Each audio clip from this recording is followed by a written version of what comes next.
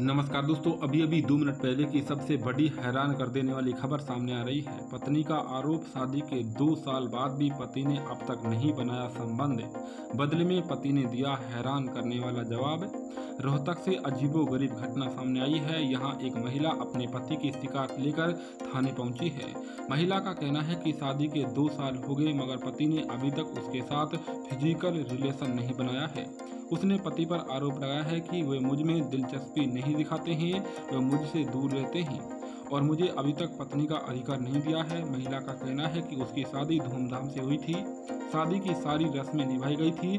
सब कुछ सही चल रहा था, मगर जब वह शादी के बाद ससुराल आई तो हकीकत कुछ और ही निकली।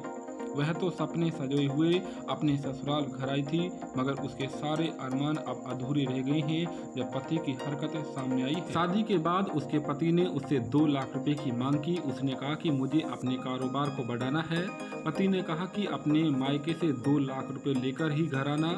पीड़िता को कुछ समझ नहीं आया क्योंकि उसकी माँ ने पाँच लाख का लोन लेकर उसकी शादी करवाई थी। वह किसी तरह से उसकी किस्त चुका रही थी। आखिर वह दो लाख रुपए कहाँ से लाएगी? इसके बाद इस मसले को लेकर दो तीन बार पंचायतें हुई। पंचायत के कहने पर वह पति के घर चली गई, मगर पति अभी भी उस पर ध्यान नहीं देता था। उसे कोई मतलब नहीं रखता था।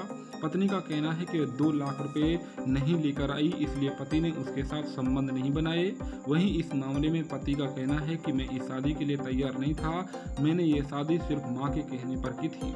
पीड़िता ने दो सालों तक सब कुछ ठीक होने का इंतज़ार किया, मगर मामला दिन प्रतिदिन बिगड़ता उसने पुलिस का दरवाज़ा खटखटाया। महिला का कहना है कि उसकी शादी झूठ बोलकर कराई गई थी। असल में पति कुछ काम नहीं करता है, उसका कोई कारोबार नहीं है। जब उसने यह बात अपने मायके वालों को बताने की कोशिश की तो सास ने उसे फ़ोन नहीं करने दी इसके बाद उसे गालियाँ देकर मारा पीटा गया। फ़िलहाल पुलिस ने महिला के पति और सास के खिलाफ मामला दर्ज कर लिया है। पुलिस दोस्तों छानबीन कर रही है।